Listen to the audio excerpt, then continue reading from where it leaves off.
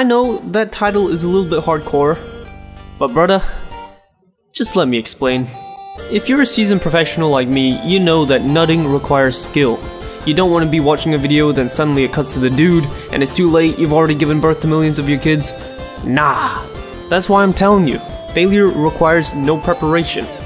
So listen up, kids. Learn from my mistakes, so you can better prepare yourselves for when you, uh...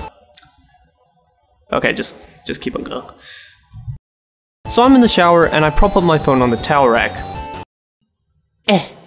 This way, you know, it don't get wet. Now, if you don't know this already, the shower is a primo place to do the biz. You got privacy, and the sound of the shower masks out any noise.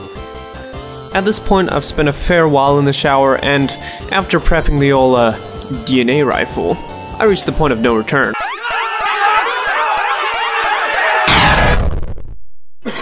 Alright, fellas, it's been an honor and a privilege to serve with you. But god damn it, let's hope there's a egg on the other side. If the egg is shaped like a hand, huh? Dear God, no.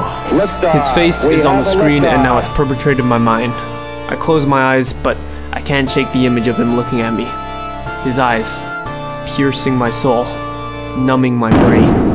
This should be the part where all the stresses of modern life are lifted, where for a split second, I'm wandering through the Garden of Eden.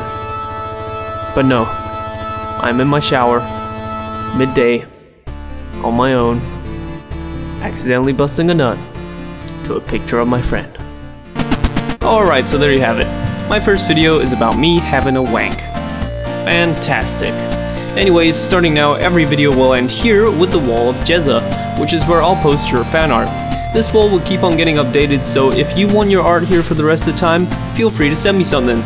Social network links are down below. I've been Rez. Adios amigos.